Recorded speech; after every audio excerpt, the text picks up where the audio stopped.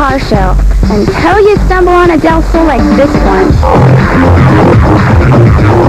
Uh, this is a 1993 Honda Del Sol SI. It's got a full Kaminari body kit, Lamborghini style doors, so that way you have 45 degree tilt of the door forward, but it still works almost like a normal door in the down position.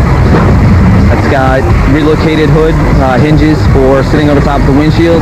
This way you can see the red carbon Kevlar hood, which is actually quite rare in the show scene. It's got the uh, 4 to 2 to 1 racing header, cold air intake, the uh, 5.5 inch monitor for engine diagnostics, Jacobs electronic ice ignition pack, which doubles the ignition spark going into the engine.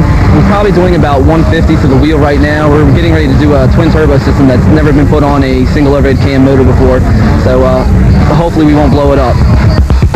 Inside the car, we have the fiberglass relocated center console, four-point harnesses with a custom-built racing harness on a non-reclining racing seats, three 10-inch JVC Strobo subwoofers pushing 600 watts each, uh, hand-laid uh, Kevlar and carbon fiber interior.